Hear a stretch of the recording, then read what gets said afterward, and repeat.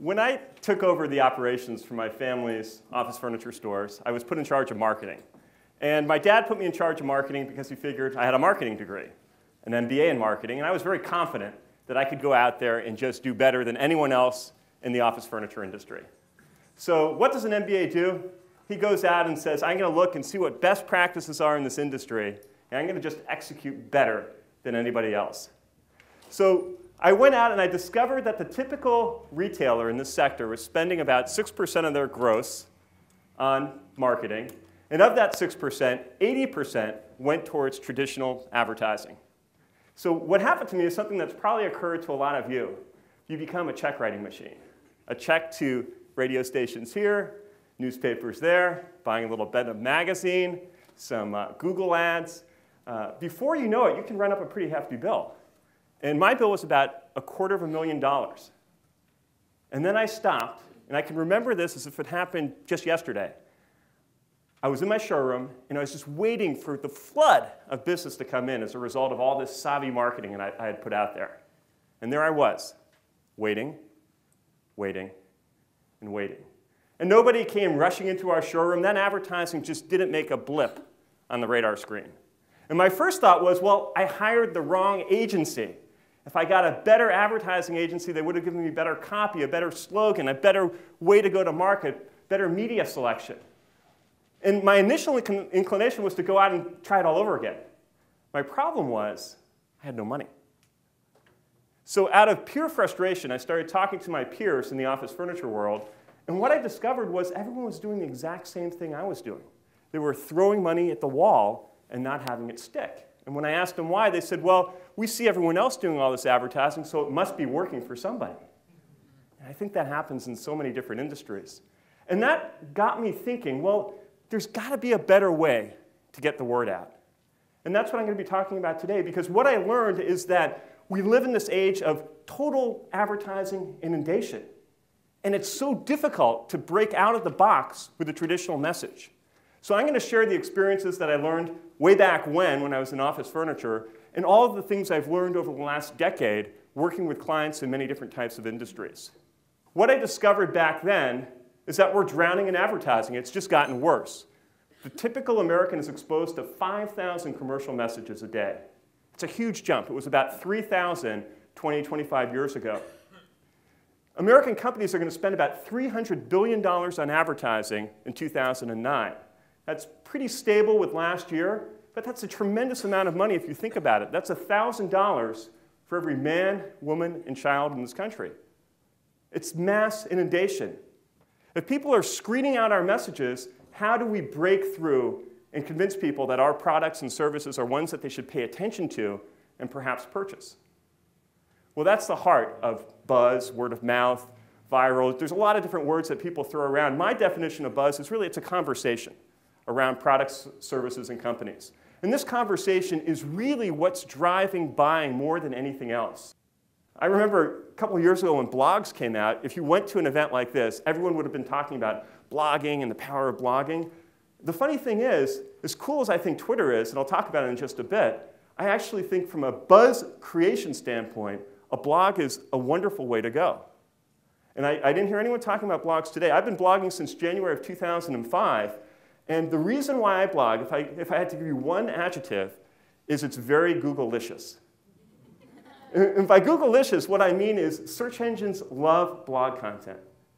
The spiders that go out and crawl around the internet looking for information, when they come across a blog and you post something of interest to you, hopefully of interest to your customers, the search engine is going to take more notice of that than if that same information was on your website.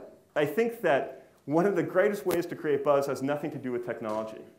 It's really about engaging the people who love your business to go out and share the good word. I mean, if, if you think about how many people must be coming into your business because of this, uh, what would happen if you could just get an additional 10 or 20% to spread the good word? Two weeks ago, I was in Lake Oswego talking to the owner of an IT services company, a business that's been around for 12 years. And he said that in the first seven years of his company, he was living by referral. 80, 90% of all of his new clients were coming because of referrals. And I said, well, what happened? He said, well, about Eight years into the business, I got really successful. I started hiring outside guys to do the job, which in this case was going out and working on computers. And then he started hiring salespeople to do the same thing. He said people forgot that I needed referrals. Because when I was the, the young guy out there building my business, they saw this person hustling and really working the business, and they just knew that they needed to make a referral to me.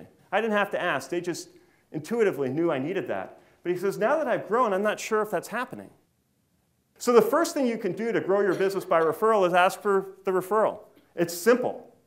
And most people want to help their friends and colleagues, and if you say it in a certain way that, hey, I love working with you, we've got a great relationship here, if you know anyone else who has a similar need, boy, I'd really appreciate a referral. Or I'm growing my business through word of mouth marketing. I have a realtor friend who tells people that he spends no money on marketing, takes a lot of pride in it. He shares that with his clients, and he says, I live by referral.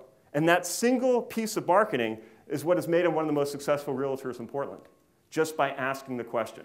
So that's the first thing I, I would say to do. And then when you start getting those referrals, and you will if you ask the question, how do you recognize those? How many of you have the pet peeve of referring somebody and then not hearing anything from the person that you referred the business to? Yeah. yeah it drives you nuts.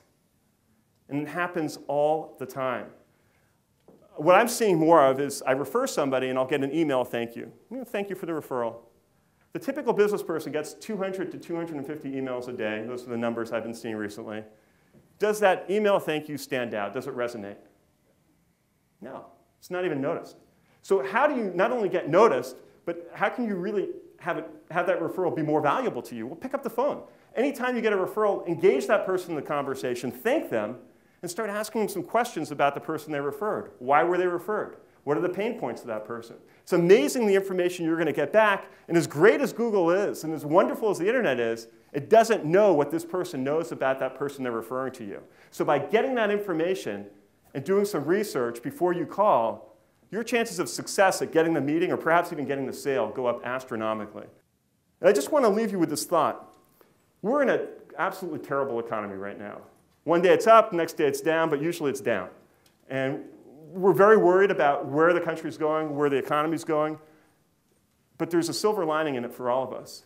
And especially for you folks, because you're out participating in a group like the EOC. You're coming here to sit in on tables like the ones you sat in this morning to learn, to update your skills, to tap into some of these new ideas, because many of your competitors aren't doing this. They're sitting back thinking, this is not a time to be proactive in marketing. I just want to hang on to the customers I have, not lose them. I don't have money to go out there and get the message out through marketing, advertising. Well, I hope I've left you with this idea that today it's really not about throwing the money against the wall like I did when I was in my office furniture days, but thinking creatively of how you can use some of the tools that we looked at this morning to tap into the conversation, to become a company that people not only talk about, but recommend and refer. And I'm confident after having talked to many of you that you have the skills to do it. It's just a question of desire, trying things out. If you uh, like an idea that you heard me say or one of the other speakers say, on the second page of your handout, there's ideas to implement before the end of today. Please take one of my ideas or the idea of another speaker, jot it down, and put that idea into action sometime in the next month. If it doesn't work, there's a lot of other ideas. Just move on down the list. I wish you the best of luck doing this. Good luck galvanizing your businesses with Buzz. And if you have any questions, I'd be happy to take them if there's time. Yeah, there's time. Great. Thank you.